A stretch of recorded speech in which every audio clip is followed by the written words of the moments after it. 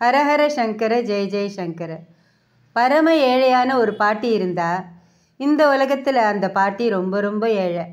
ஆனால் அந்த உலகத்தில் ரொம்ப பாக்கியசாலி பாட்டி.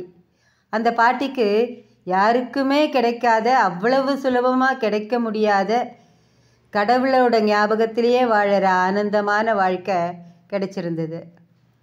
எப்பவும் காஞ்சி காமாட்சி கோவில் வாசலில் உட்காந்துட்டு வாயார மனசார.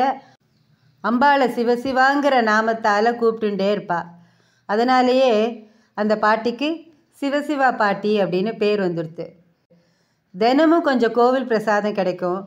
பாட்டி அதுலேயே பரம திருப்தி ஆயிடுவா. கிடைக்குமா? இந்த பாக்கியம் எல்லாருக்கும் கிடைக்குமா? இப்படி ஒரு வரம். அம்பாளை தரிசனம் பண்ணிட்டு ஸ்ரீமடத்துக்கு வர பக்தர்கள் சிலர்கிட்ட மகா பெரிவா அந்த பாட்டியை பற்றி அக்கறையாக விசாரிப்பாள் சிவா பாட்டியை பார்த்தேளா? அந்த எளிய நல்ல ஆத்மா கிட்ட பெரியவாளுக்கு அப்படி ஒரு பரிவு. ராமா ராமான்னு உருகின சபரியோட அன்புல கட்டுண்ட ஸ்ரீராமன் மாதிரி சதா சர்வ காலமும் சிவா சிவான்னு தன்னையே நினச்சின்னு இருக்கிற தன் பரம பக்தைக்கு ஒவ்வொரு தீபாவளிக்கும் ரெண்டு புடவை அனுப்ப சொல்லி உத்தரவிட்டிருந்தார். பாட்டி பெரியவா தீபாவளிக்கு உனக்கு ரெண்டு புடவை அனுப்பிச்சிருக்கா. இந்தா அந்த புடவையோட ஒவ்வொரு நூலிழையிலையும் பெரியவாளோட அன்பும் பரிவும் அனுகிரகமும் இழைஞ்சிருந்ததை உணர்ந்து அதை வாங்கிட்ட சிவா பாட்டிக்கு நெஞ்சம் அப்படியே உருகி போயிடுத்து. இந்த லோகத்தில் அல்பமான என்னை கூட நினைவு வச்சுட்டு இருக்க அப்படின்னு சொல்லிட்டு கண்கலங்க அதை வாங்கிப்பா. இதை கேட்குற நம்மளோட உள்ளங்களில் நடமாடும் தெய்வம் மகா பெரிவாளோட இந்த பரிவு இதை கேட்குற நம்மளோட உள்ளங்களில் ஹிமாலய கனத்தை உண்டாக்குறதுங்கிறது என்னவோ உண்மைதான். எனக்கு கடவுளை பிடிக்குங்கிறத விட கடவுளுக்கு என்ன பிடிக்குங்கிற மாதிரி ஒரு வாழ்க்கை தத்துவத்தில் நாம் வாழணும். ஸ்ரீ மகா பெரியவா திருவடிகளே சரணம். ஒரு கல்லூரி மாணவன் தன்னோட அப்பா கிட்ட கோச்சுண்டு ரொம்ப கோவமாக வீட்டை விட்டு வெளியில் போயிட்டான். போரிச்சே அப்பாவோட பர்ஸை எடுத்துட்டு போனான். கண்ணு மண்ணு தெரியாத கோவத்தில் இனிமே நான் இந்த வீட்டில் இருக்க மாட்டேன். ஒரு நாள் இல்லை ஒரு நாள் நான் பெரிய ஆளாக ஆகி காட்டுவேன். அதுக்கப்புறம் தான் வீட்டுக்கு வருவேன். ஒரு காலேஜ் போகிற பையனுக்கு ஒரு மோட்டார் சைக்கிள் கூட அப்பா வாங்கி கொடுக்க மாட்டேங்கிறார். உங்கள் கடனை எல்லாம் அடைக்கிறதுக்கு நான் இன்ஜினியர் ஆகணுமா? அப்படின்னு தனக்கு தானே புலம்பிண்டு ரோட்டில் நடந்துட்டு இருந்தான். கோவத்தில் என்ன செய்கிறோம்னு தெரியாமல் அப்பாவோட ஷூவை மாட்டின்னு வந்துட்டான். மண்ணு ரோட்டில் நடக்கிறச்சே காலில் ஏதோ குத்தின மாதிரி இருந்தது. காலில் இருந்து ரத்தம் வந்தது. என்னன்னு பார்த்தா ஷூவில் ஆணி இருந்தது. வலியை பொறுத்துண்டு கொஞ்ச தூரம் போனதுக்கப்புறம் கால் ஈரமாக இருக்கேன்னு பார்க்குறான் ஷூ கிழிஞ்சிருந்தது.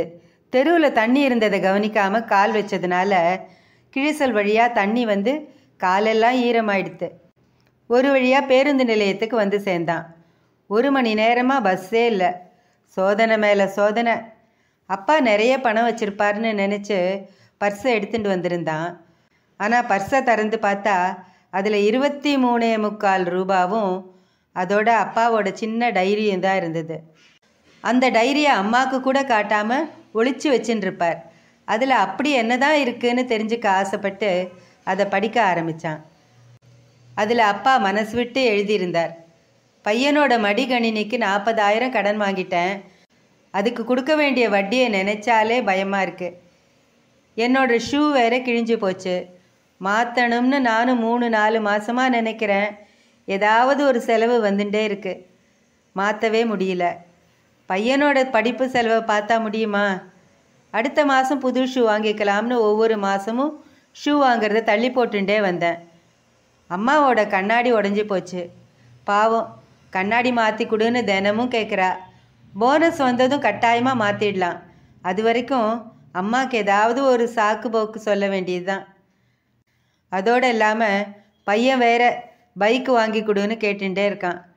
பழைய ஸ்கூட்டரை விற்றுட்டு புதுசாக தவணை முறையில் பையனுக்கு பைக் வாங்கி கொடுக்கலாம்னா அதுக்கும் இப்போ வழி இல்லையே. பார்க்கலாம். எல்லாம் கடவுள் விட்ட வழி அப்படின்னு எழுதியிருந்தது. அந்த டைரியை படித்ததும் அவனுக்கு கதறி அழணும் போல இருந்தது. பக்கத்தில் ஜனங்க இருந்ததுனால ரொம்ப சிரமப்பட்டு அழுகையை அடக்கிண்டான் அப்பாவை புரிஞ்சுண்டுட்டான். உடனே ஓட்டமும் நடையுமா வீட்டுக்கு வந்தான். அப்பாவை பார்த்ததும் அவரை கட்டிண்டு அழுதான். அப்பா நான் தப்பு பண்ணிட்டேன்ப்பா. எனக்கு மோட்டார் சைக்கிள்லாம் வேண்டவே வேண்டாம்ப்பா. உங்களுக்கு புதுசாக ஷூ வாங்கிக்கோங்க. பாட்டிக்கு கண்ணாடி வாங்கி கொடுங்கப்பா. நான் நிச்சயமாக படித்து பெரிய ஆளாக வருவேன்ப்பா. நீங்கள் கவலைப்படாதீங்க. இந்த குடும்பத்தை நான் தாங்குவேன்னு சொல்லி கதறினான். நான் எவ்வளோ பெரிய பாவம் பண்ண இருந்தேன். கடவுள் தான் காப்பாத்தினாருன்னு மனசார கடவுளுக்கு நன்றி சொன்னான். பெத்தவாளை குழந்தைகள் எப்பவும் நேசிக்கணும் மதிக்கணும்.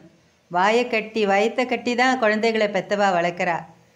குழந்தைகளுக்காக தன்னோட ஆசைகளெல்லாம் மனசுக்குள்ளே போட்டு புதைச்சிட்டு அவளுக்காகவே வாழறா. குழந்தைகள் பெத்தவாளோட மனசை புரிஞ்சுக்கணும். அவள் மனசு நோகாமல் வாழணும். இன்னொரு பக்கம் பெத்தவாளும் குழந்தைகளுக்கு கஷ்டத்தை சொல்லி தான் வளர்க்கணும். அப்போ தான் கஷ்டங்களை எதிர்கொள்ளக்கூடிய சக்தி அவளுக்கு வரும். கஷ்டங்களை மறைச்சி வச்சு சுகவாசியாக வளர்க்குறதுனால தன்னை விட பணக்காரளை எல்லாம் பார்த்து அதெல்லாம் வேணும்னு நினைப்பா. படிப்பை விட்டு ரொம்ப தூரம் போயிடுவா. இந்த மாதிரி தவிர பெத்தவாளும் செய்யக்கூடாது. ஸ்ரீ மகாபெரிவா திருவடிகளே சரணம். ஹர ஹர சங்கர ஜெய ஜெய சங்கர. காஞ்சி சங்கர காமகோட்டி சங்கர.